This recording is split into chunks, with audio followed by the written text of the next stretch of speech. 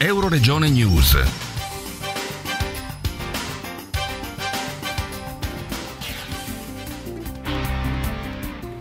La Casa delle Farfalle di Bordano riapre il giorno di Pasqua dopo aver saltato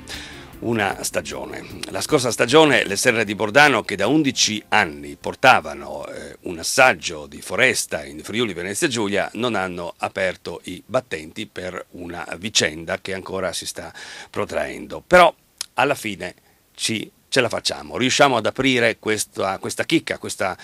questa mh, attività molto importante per il Friuli Venezia Giulia e ne parliamo con eh, Stefano Dal Secco che è presidente della della cooperativa Farfalle nella Testa che è stata costituita nel dicembre del 2013 per gestire la, il nuovo corso della Casa delle Farfalle. Buongiorno. Buongiorno. Allora, che cosa ha rappresentato fino allo scorso anno, diciamo, no? e adesso chiaramente poi eh, rappresenterà ancora, e si spera almeno per il Friuli Venezia Giulia, questa, questa attività, la Casa delle Farfalle di Bordano?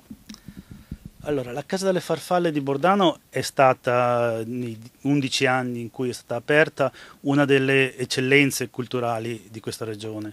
ha attirato ogni stagione da marzo a ottobre tra i 40 e i 50 mila visitatori provenienti essenzialmente dalla regione ma anche dal, dai paesi confinanti, Austria, Slovenia, dal nord Europa o dal Veneto. Quindi una realtà molto importante per la regione e la più grande casa delle farfalle in Italia, il più grande complesso di serre tropicali ospitante farfalle e insetti. Quindi indubbiamente una delle eccellenze di questa regione. Allora, un anno di stop ehm, abbiamo detto all'inizio a causa di un cambio eh, gestionale che si è trasformato purtroppo in una querel abbastanza pesante che tra l'altro non si è ancora eh, conclusa e che poteva anche protrarre la chiusura della Casa delle Farfalle ben oltre un anno, così non succederà. No, per fortuna eh, questa, questa vicenda è arrivata in fondo, quello che interessa a noi come a, a tutti i nostri visitatori, a tutti i cittadini della regione, era che questa, questa struttura riaprisse. Ora l'importante è di riaprire, noi abbiamo fatto tutti gli sforzi perché questa struttura venisse riaperta nel più breve tempo possibile, riusciremo a aprire appunto il giorno di Pasqua e aspettiamo veramente molte persone. Allora, la ripartenza della Casa delle Farfalle rappresenta, segna anche un cambio di marcia nel pensiero di fondo che ne animerà le strategie? Indubbiamente sì, eh, questo è stato anche diciamo, uno dei motivi, se non il motivo principale che ci ha indotti a, a progettare e realizzare questa nuova realtà, questa cooperativa che, che andrà ora a gestire la Casa delle Farfalle. Eh, il cambio si inquadra in un modo diverso di, di, di proporre l'educazione ambientale, la, la, la natura, l'educazione alla biodiversità. Noi crediamo che tutto questo possa essere gestito in maniera rigorosa e scientifica senza per questo diventare noioso, pedante, eccetera. Quindi insieme lo spettacolo, la grande bellezza della natura e un'attenzione ai temi scientifici ed etici e ecologici. Ecco, non solo farfalle, no? comunque nella casa delle farfalle, perché c'è un mondo da scoprire che rappresenta la maggior eh, massa biologica no? eh, del pianeta e sarà rappresentata anche in questa casa delle farfalle. Sì, le farfalle sono chiaramente il, il, la bandiera di questa struttura, però eh, quello che in parte è stata, ma soprattutto sarà da ora in avanti, è un, diciamo, uno zoo del mondo piccolo, quindi eh, gli insetti, gli invertebrati, questo mondo ancora poco conosciuto tutto sommato, eh, però eh, una delle, delle, realtà più importanti sul pianeta Terra e una delle ricchezze per tantissimi versi. Gli insetti sono un, un mondo spettacolare che non vediamo eh, perché è troppo piccolo. Uno dei nostri modi di parlare di questa cosa è di renderlo grande, mostrare i gran, gli insetti più grandi, fare da mostra con gigantografie di macro per far vedere come sia veramente un universo in questi piccoli animali. Allora, mm, eh, Stefano Dal Secco, ehm, un vostro, uno dei vostri pallini è quello di lavorare con i giovani e quindi anche con la scuola, con il mondo della scuola, per che è perfetto per costruire una coscienza collettiva sulla salvaguardia eh, del pianeta, sulla, una coscienza collettiva sulla salvaguardia perché bisogna partire dai giovani, bisogna partire ovviamente dai più giovani, anche se poi la scuola non è proprio quella eh, più adatta per far quadrare i conti ad un'iniziativa come questa, anche se necessaria. Ma diciamo che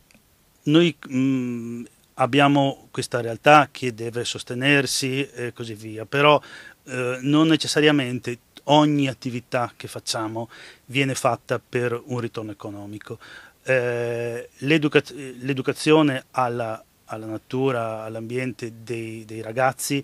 ha un, un, senso che va oltre il guadagno immediato, per cui eh, c'è anche un progetto etico che non significa che eh, che non dobbiamo tener conto del, del, guadagno, però ci sono delle voci in cui la casa farfalle guadagna, delle altre come i ragazzi, la scuola, eccetera, in cui può permettersi, a nostro parere, di andare in pari o leggermente in perdita, perché il senso di questo progetto va al di là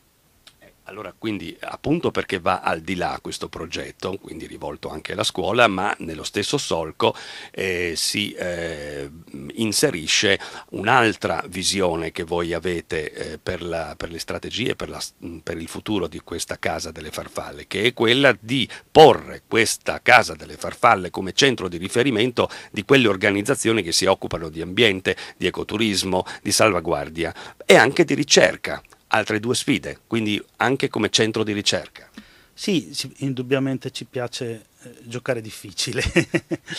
e diciamo che essendo probabilmente in regione, nella zona, il centro più grosso, la Casa Farfalle che si occupa di questi temi, riteniamo che questo implichi da parte nostra anche una responsabilità, senza essere mh, senza nessuna pretesa, ma semplicemente eh, proporci, metterci a disposizione come punto centrale, punto di aggregazione, proprio perché è a di fronte una platea più vasta. Quindi le piccole associazioni, le piccole realtà che spesso fanno cose molto meritevoli, eh, noi siamo a disposizione per lavorare insieme, ospitarli, dare visibilità.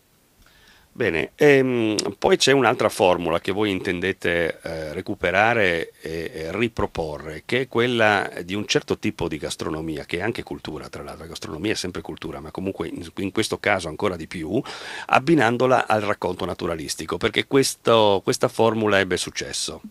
Abbiamo avuto nelle, nelle ultime stagioni alcuni esempi mh, molto interessanti, a nostro parere, abbiamo fatto delle serate di cucina eh, africana, abbiamo fatto Madagascar, poi Asia, come ha fatto Malesia. Queste eh, situazioni hanno avuto un grosso riscontro, secondo noi, eh, come ormai è abbastanza risaputo, la, il cibo, la gastronomia è cultura, tanto più nell'anno dell'Expo non possiamo non... Eh, e, e, noi abbiamo sempre abbinato questa ricerca dei gusti, dei sapori al al racconto di quei paesi, quindi mangiare insieme a raccontare la, la, la, la fauna la flora dei paesi eh, che, da cui vengono i cibi per un'esplorazione visiva, sensoriale, uditiva a molte dimensioni. Bene, e poi c'è un altro progetto, un altro progetto eh, che, ehm, a cui voi tenete e di cui eh, vorrei che lei parlasse, è, è, un progetto di turismo naturalistico che prende il nome Danaus o Danaus e, ehm, e questo va a sottolineare ulteriormente come la casa delle farfalle eh, diventi così un un ambiente dinamico e non solamente per dirla tra virgolette uno zoo no? dove andare a vedere degli animali e basta. Certo, ci piacerebbe e stiamo lavorando in questo senso, proporre una serie di esperienze a tutto tondo. In questo senso stiamo lavorando, abbiamo già fatto partire un, un'organizzazione che propone viaggi eh, in paesi tropicali, che sono i paesi in cui eh, in cui vivono le, le farfalle che noi, che noi, mostriamo, questi insetti, queste, che sono diciamo, i paesi dove c'è più ricchezza, c'è più, più, diversità, quindi foresta pluviale, eccetera. E abbiamo fondato questa, questo brand, diciamo, eh, che si chiama Danaus, che è il nome della, eh, latino della farfalla monarca, quella che fa queste grandi migrazioni nel continente americano, e che proporrà dei viaggi appunto in paesi esotici con la, la particolarità di, eh, di, andare non tanto nel, nel lodge lussuoso, ma fare delle esplorazioni dell'ambiente naturale eh, presso mh, organizzazioni, progetti di ricerca, di conservazione, eccetera, accompagnati da, da, da, da laureati molto competenti e quindi che ci portano dentro quel mondo. Bene, Stefano eh, Dal Secco, eh, siamo giunti alla conclusione, non ci resta che eh, fare l'augurio no? per un'ottima attività e un'ottima ripresa delle attività per la Casa delle Farfalle, sperando che eh, il pubblico si presenti numeroso.